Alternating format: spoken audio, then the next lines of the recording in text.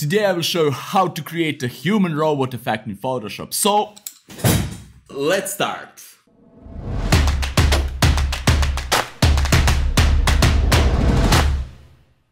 Hey guys, it's Nemanja Sekulic and welcome to another really fun episode. Today I will show you the basic methods and techniques how to create this kind of human robot effect in Photoshop and then it's up to you to use your own imagination and create your own version. So without further ado, let's jump straight into Photoshop and let's the fun begin. Right guys, today we will use this image to create our own version of a human robot effect. And first thing that I like to do when I'm uh, doing this kind of effect is to draw a lines where the holes will be in a human body. So I have already this lines layer uh, prepared here because I don't want to draw all those lines again because it will take a lot more time than it's needed. But I will show you how I did this on a few lines and you can do your own lines, your own style. It doesn't need to be uh, like this exactly. You can uh, release your imagination and do whatever you want. So basically first thing what I like to do when I want to create those lines is to create a new empty layer and use a brush. I will use a black brush 100% opacity like so, hardness actually opacity 100% uh, and hardness 100%, alright? And I will make it smaller just to draw some lines like so. And then I will start, uh, sorry, start to sketch something like this, right? then maybe like so, like so. Here will be a hole, so right here will be something like this. And I can just copy that on the other side. Then I can maybe make a new line here and here and so on and so on on the body and everything else. So I just made this as a sketch. And then I use a pen tool to create really nice and precise lines. If you're not familiar with the pen tool, please watch my tutorial about the pen tool right here and you will master this tool. It's really important to know uh, how to use the pen tool. Right, and now I create a new layer where uh, the lines will be. I will call it again lines, right? And this layer is just for sketch. I will lower the opacity to maybe 30 or so percent. And then I will go to a lines layer and I will start with the pen tool. I will create a path so it will go like so maybe and then from here like so. Okay, and quickly create really nice path for our line. And then how to add a line uh, to follow this path. You have everything that covered in my um, pen tool tutorial. So I will quickly show you, just go to brush tool, choose the size of the brush, maybe like this. Yes, that's really nice. I will just hide this layer where the sketch is and choose the size of the brush and then go again uh, to pen tool, right click and go stroke path, all right? And I will click this simulate pen pressure option to simulate the pen pressure so I will delete the path and I have really nice and precise line. If I didn't uh, check the simulate pen pressure option, I will have the same thickness along this line and I don't want that. I really want to simulate the pen pressure, but to have that as an option, you need to go to pen uh, to brush properties, go to shape dynamics and just in size jitter, go navigate to pen pressure. If you have this uh, warning sign in a triangle, don't worry, it's uh, normal and uh, it will still works, all right? Then right click, stroke path, simulate pen pressure, and you have really, really nice line. And that's how I draw all those lines. Let's delete this and this. That's how I draw all those lines across the human body one by one. Those circles are just regular brush and click like so. And this big circle is the same. So now that we have done with those lines, let's go and create our next step, right? The next step will be to go to fill option and move it all the way to the zero. So we don't have our lines visible, but they are still here. We just don't have those uh, surfaces filled with the color. I will now double click on this layer, okay, to load this layer style properties. And I will go to uh, bevel and emboss, right? Click on that and I really, I already have some nice figure here. And here where the shading option is, I can choose the light direction. So I want my light to go where this uh, lights in the studio were in the front and above her. So something like this direction, right? And then when I'm done with that, I will go and drop shadow. Just let me show you if I erase this. I just want this drop shadow to have a contour option around it. Uh, so the distance is zero. If it's not, it will be something like this. I like distance to keep at zero and the size, just a small size, maybe something around six or seven or, or five pixels, depend of the image size. So maybe five or so, five, right? And then the last step is to go to inner shadow, right? And let's zoom this a little bit.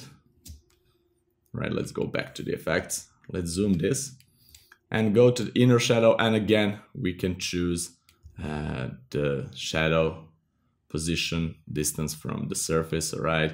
The size of the shadow, it will be softer or softer or harder and choke and just play with that until you're satisfied with the result. So I will go right here again and move these lights all the way up. So I will have something like this effect. And I really like it. Maybe the size of this, I can change the size. Let me see. Just play with that and find the best size that works for you. Six or maybe, let's leave it to six. Inner shadow, let me see. Distance be a little bit bigger, like so, so that we have impression that the hole is deeper. And uh, this shadow, it's okay to five. Yeah, let's leave it to 5 or even 4, yeah, like this, and I will press OK.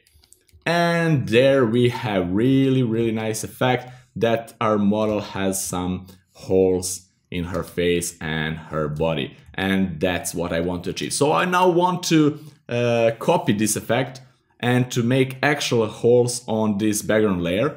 So to do that, just need to unlock it. To do that, just go to lines, layer, control or command, click on that so to load this as a selection and then go here and press and hold Alt or Option key and load the mask like so. So, so now we have real holes here in this layer. If we turn off the lines, we will just have those holes. If we turn on the lines, we will have that um, effect that these those are really the holes with shadows and everything highlights around here and so on and so on. Right, the next step is to load some elements that will be inside the human robot body. So let's do that. For that, I will use this gear uh, image, right? I will just copy this, copy this, and I will just go here and paste it like so. And I will put it below the body effect, uh, body layer. This is body, and this is gear. I will put this gear layer in a group. You will see later why and I will name the gear, right? And now I will move it and see how this affects the image. It's obviously too big for my taste, so I will go Control Command T and make it smaller, right? And now I can reposition and play with this maybe even smaller, like so. Let me see how this looks to find the right. This looks really nice, maybe even smaller to have those gears visible like so and I really like it I can press enter and then I will go to this gear layer press alt or option key and just move it with the move tool to duplicate it like so and I will move it and then I will reposition it somewhere here again doesn't need to be the same but something like this it's nice so I will just copy here like so then by holding Alt or Option key, just drag here, maybe rotate it to find better portion. And I need to copy it right here. That's nice. So now let's go and move it on the shoulders. I love how this gears gear looks here. Right, then move another one right here and maybe another one right, right here so we can populate this scene with you can use, of course, a lot of uh, different elements, different images, but for this tutorial I will use just this one uh, for uh, example and then position it something like so. But you can play really, you have uh, countless possibilities for that, so let me see, I think everything is now populated except this hole here, but I will put something else in the hole. So let's for now leave this like so. All right. And now I will go and click the first layer in a group and then the last layer in a group and press Ctrl or Command D to merge everything together into one layer because I actually don't need all of these layers. So this looks like this, all right? It's the same, exactly the same image, just distributed in a lot of different places here. So we have really nice effect that we have some gears and things inside her body. So the next step is to load the eyes. I like the eyes to be like this lens and I will just use this, uh, as you can see here, elliptical marquee tool and just press and hold shift to make uh, the press and shift and drag to make this perfect circle and by pressing and holding spacebar I can move this selection and then release the spacebar and try to nudge it to select everything inside here like so. Then I will press Ctrl or Command C and go back to our image and paste it uh, here maybe. Let me see. No, all the way up like so. And this will be our eye, right? Something like this, make it smaller. So we'll lower the opacity around 50% to see what I'm doing and to get the right size out of this. Okay. Something like this, maybe a little bit smaller. We can use arrows to nudge it left and right, up and down. Maybe a little bit here. And that's it. Right now I can increase opacity and maybe move it a little bit like so. And I can duplicate it by control command J and just move it right here to our next eye. And those reflections here, I want to rotate them to be on, on this portion here where the original reflections are. So I will go just press Control Command T and rotate a little bit like so. And this side, same, something like this. All right, that's not bad. So I will merge both of those eyes into one layer, again by selecting both of them and press Ctrl Command E to merge them and I will name this eyes. Okay, and put a mask on it so I can mask this part that it's uh, that doesn't need uh, to be visible like so. Okay, and I will mask this part right here. Maybe I'll use a softer brush, something like this.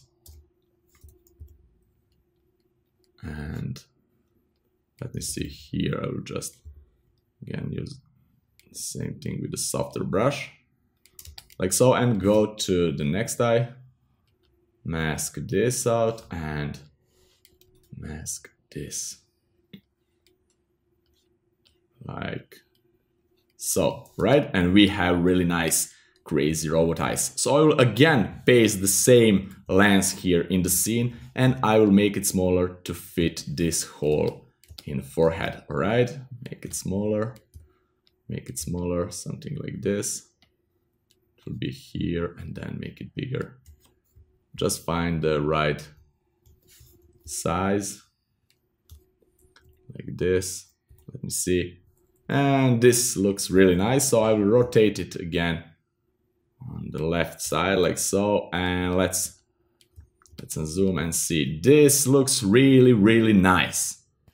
Alright guys, we are just done with our basic shape, basic look of this robot, so now I will play with some colors and the final color correction. Uh, don't forget that you can add a lot of different elements here. You can add some wires that will go out of the body. You can make bigger holes, different shapes, and so on and so on. You now know the techniques and the methods, so uh, play, play with that and create your own version of this robot. Right, let's go back and play with some colors. Right now I will go and rename this to third eye. Right, and I will group all those three layers into eyes group, all right? And use hue and saturation adjustment layer. I will clip to affect only eyes layer and use the colorize option. I will colorize this something like bluish tint to have bluish tint like so maybe you can use maybe red or anything that you want you can play with your own look right but i will do something like like so and then i want to go and make this uh, this robot a little bit brighter and a little bit desaturated and I want to make her skill a, a skill skin a little bit smoother. So I will group everything together, Shift Control Alt E or Shift Command Option E on a Mac. I will go to Filter and Camera Raw Filter and I will just use this clarity slider to move it a little bit to the left like so and press OK just to make the skin smoother a little bit and I, I will add a mask here.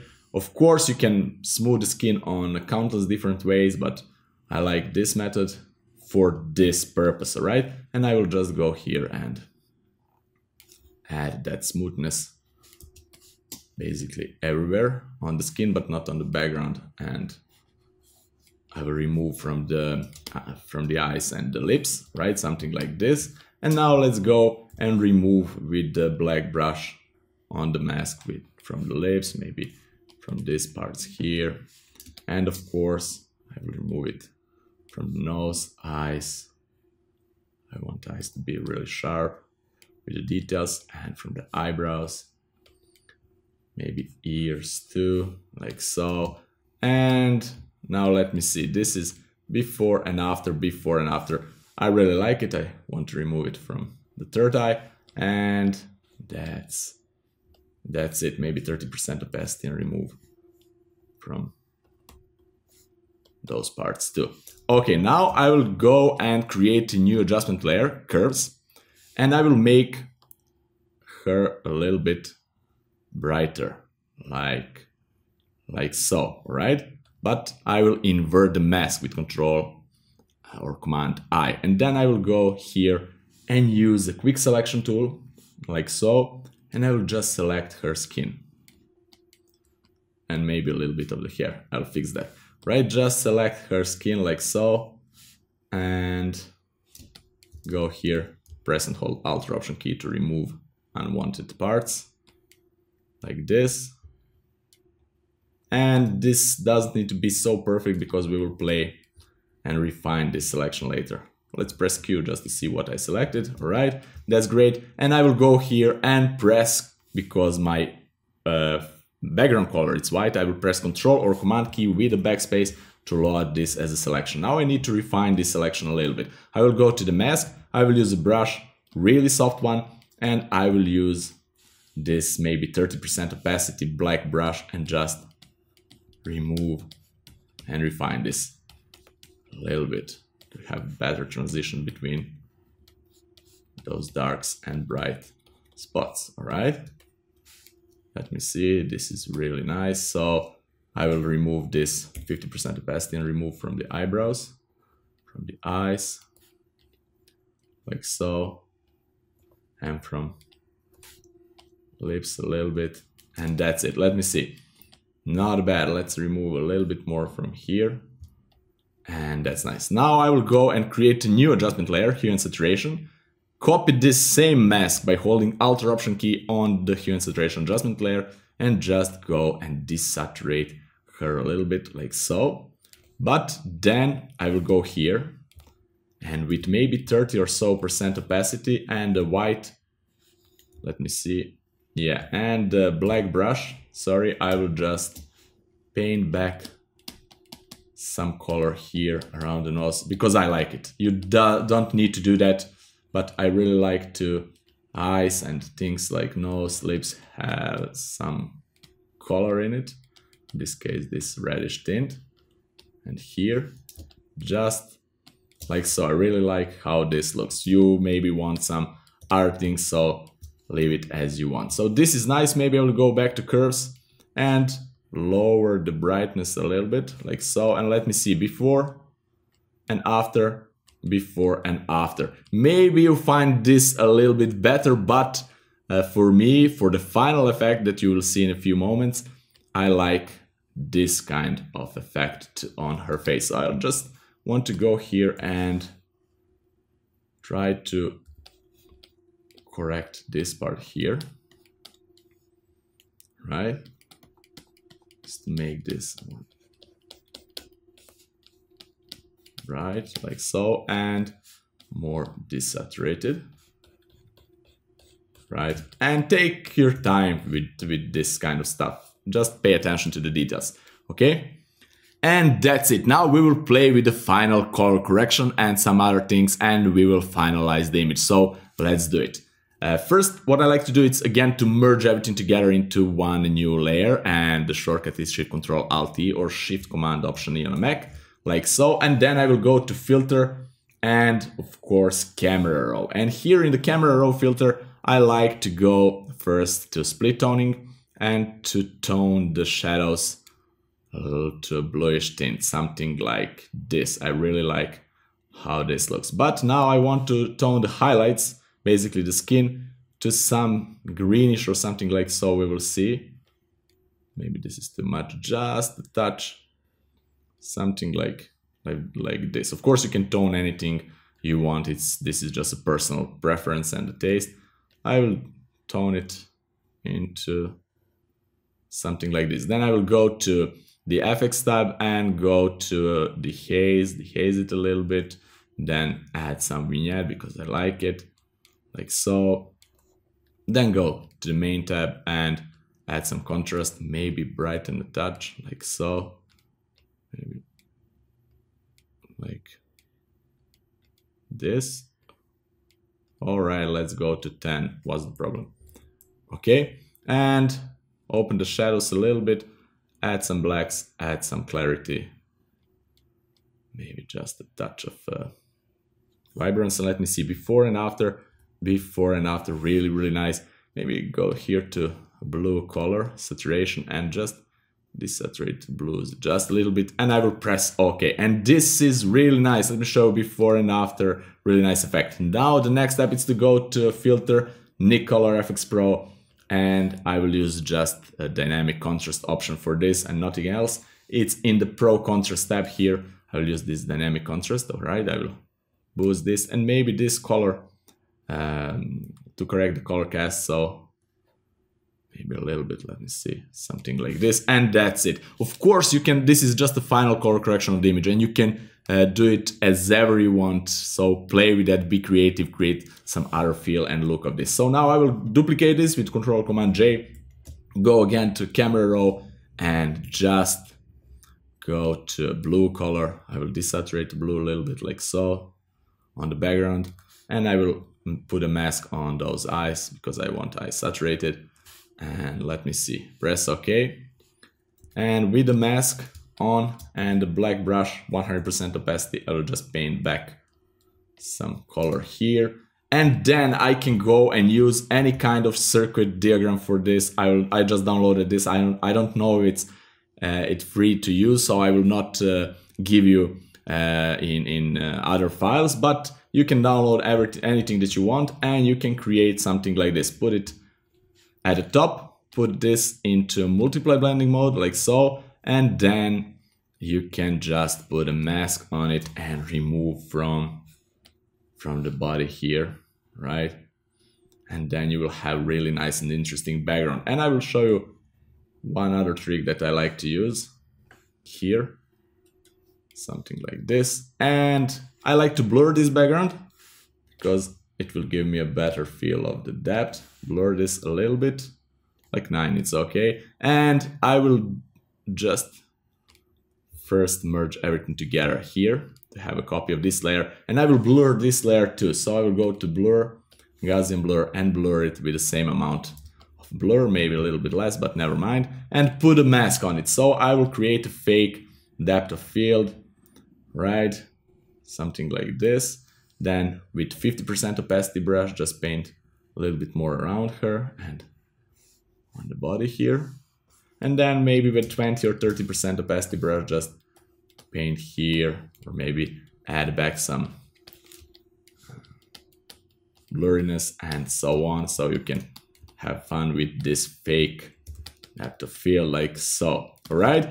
And when we are done with this, I will merge again everything together into one layer and I will go to filter other high pass and just find the right amount to make this sharper. If you don't, if you're not familiar how to sharpen your images, you can find again my tutorial about the sharpening right here. So I will use something like like one and then I will put this into linear light and of course this is really sharp but I will put a mask on it and just sharp the eyes right?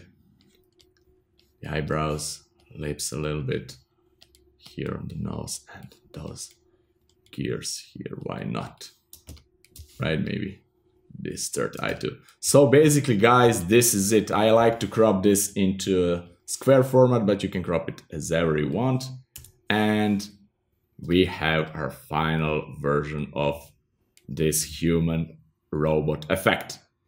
And that's it guys, I really hope that you liked this tutorial and that you learned something new out of it. You just saw how you can create this kind of human robot effect and you can use the same methods and techniques to apply on a full body portion of a human body to create really nice uh, full body human robot effect and you can be really creative with this just release your imagination and create something completely different using these same methods and techniques. So guys, if you have any questions regarding to this episode, please leave them in the comments below. I will be glad to answer them. If you want to support me on this channel, you can do that by visiting my Patreon page. The link is down there in the description. And thank you so much for watching this channel. See you guys in the next fun episode. Bye bye.